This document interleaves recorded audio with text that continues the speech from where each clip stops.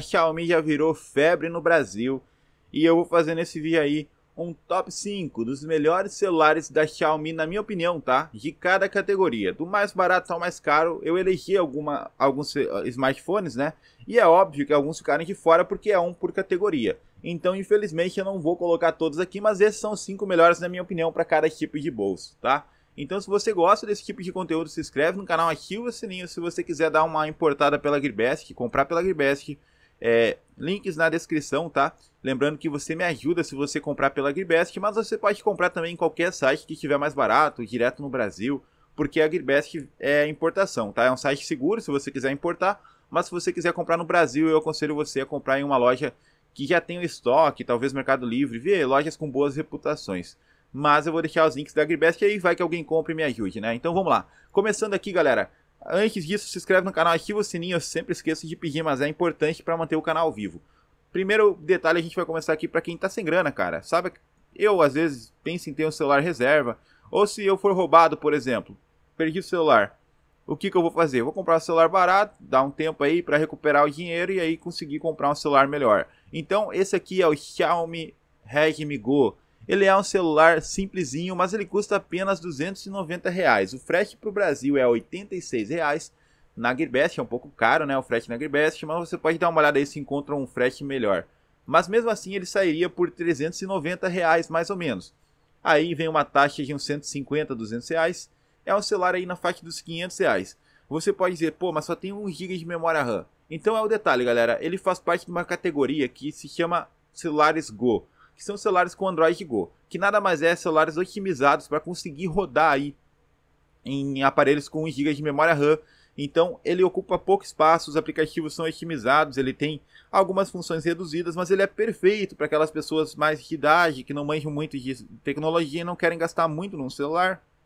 É perfeito para quem precisa de um celular bom e de certa forma até moderno para ir para a faculdade e, e, não levar o principal. Então o celular reserva perfeito, tá? Não vai rodar games assim, games pesados e tudo mais, mas games leves vai rodar e você vai fazer tudo.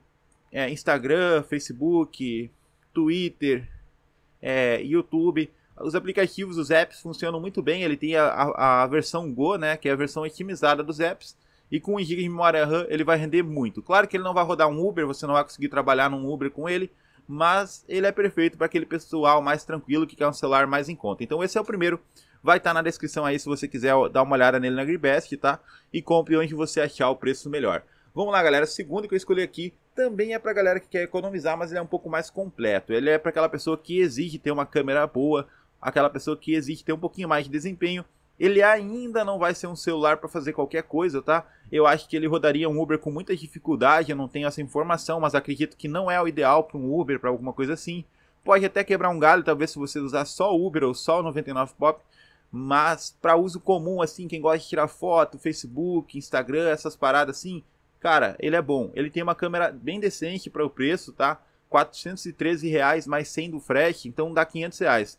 Com a taxa ele vai chegar aí num valor mais alto, mas no Brasil você encontra ele pelos 600, 550 reais. É um celular para se pensar, ele tem 2 GB de memória RAM, 16 GB de memória interna, uma câmera boa de 3 megapixels, e o principal é que ele tem muitas avaliações positivas na Gearbest. Então, 460 pessoas deram uma nota de 4.77 estrelas para ele, tá?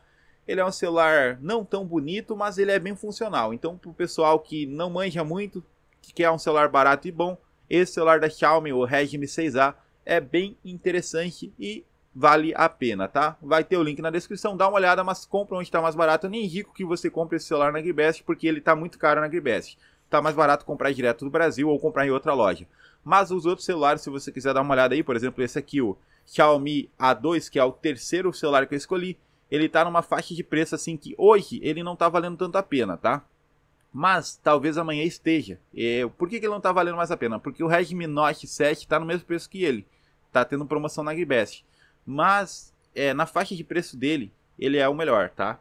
Ele tem um processador muito forte, galera, que é o Assim, não é o mais forte do mercado, mas ele tem esse processador, que é o 660, o Snapdragon. Cara, ele é muito rápido. Ele é um celular rápido mesmo. Você sente assim, se você pegar e mexer nele, ele é rápido demais, tá? E ele vem com uma câmera frontal, tá? E duas câmeras traseiras. E as câmeras são de extrema qualidade, alta qualidade, a galera fala muito bem. E a vantagem é que ele vem com 4 GB de memória RAM e 64 GB de memória interna. Então, no Brasil, ele sai na média aí dos 900, mil reais. Na Gearbest, ele vai sair um pouquinho mais caro, talvez, não sei. Depende de onde você vai comprar, tá? No Brasil, tem que ver o preço aí, é mil, mil e cem reais.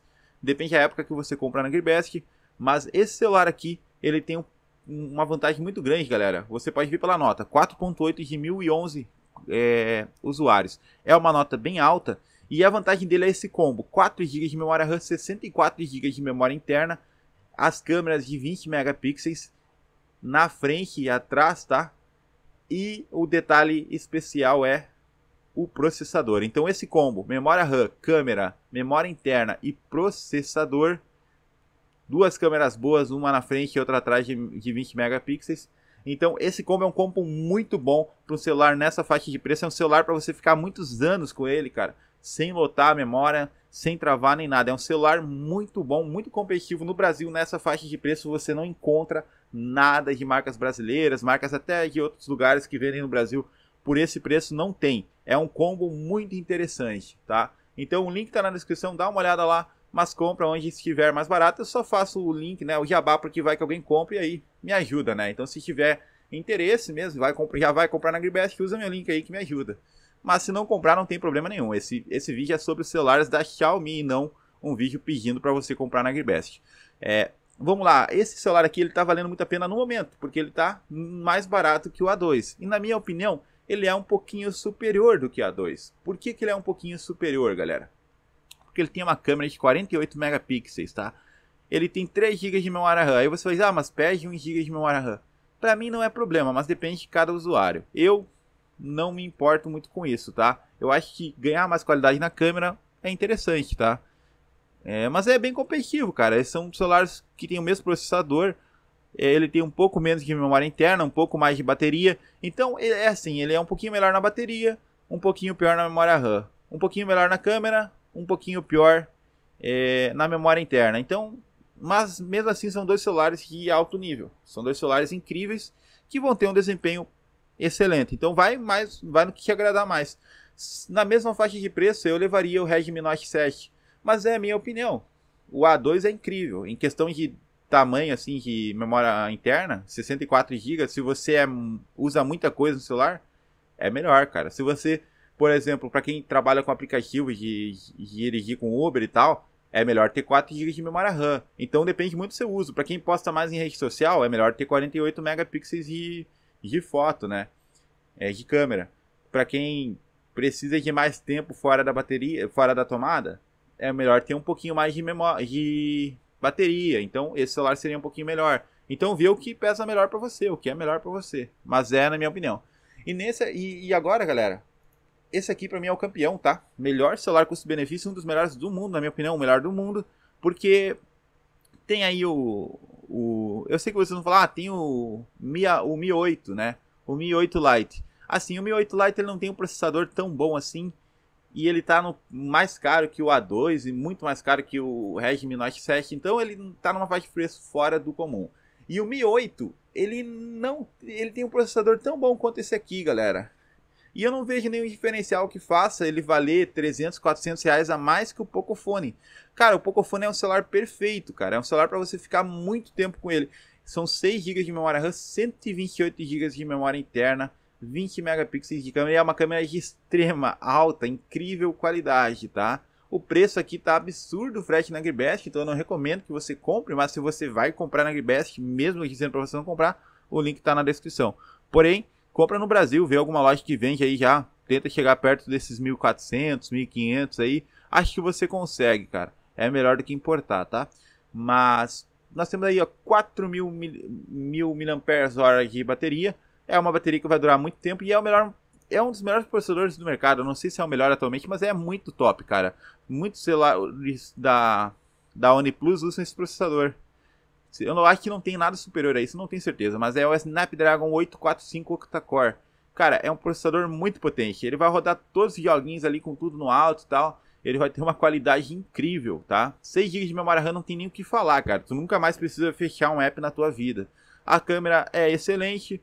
A tela é Full HD, como os outros também, né? Como o A2, o, o 7 Note e o Pocophone aí. São todos Full HD. Ele tem entrada para SD card. Então é um celular incrível, é o melhor, melhor custo-benefício do mercado atualmente. Quer dar uma olhada nele? Quer, quer ver as configurações aqui? A galera falando bem, falando mal? Dá uma olhada ali, clica na descrição, dá uma olhada no site, vê como é que é o celular, tá?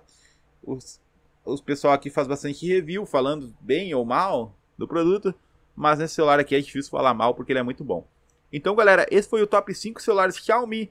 Pode aí deixar o seu comentário. Eu sei que você pode não ter gostado de não ver o Mi 8 Lite aí, nem o Mi 8, mas na minha opinião o Pocophone é superior e o Mi 8 Lite não está com custo-benefício tão legal. Então, esse é o top 5 que eu fiz, eu não deixaria outros celulares de fora para colocar o Mi 8 Lite ou o Mi 8. Mas a minha opinião, você pode discordar, tem todo direito. Tamo junto, se inscreve no canal, ativa o sininho, é importante ativar o sininho. Muito obrigado, galera, valeu e fui!